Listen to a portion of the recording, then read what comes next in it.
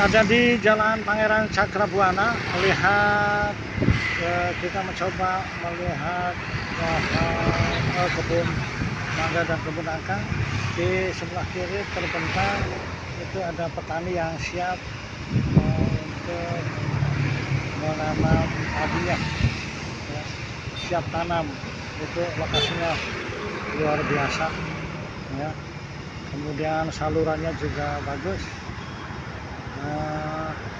walaupun kemarau tapi karena irigasinya lancar ya bagus ya itu Nah, ya. ini petaninya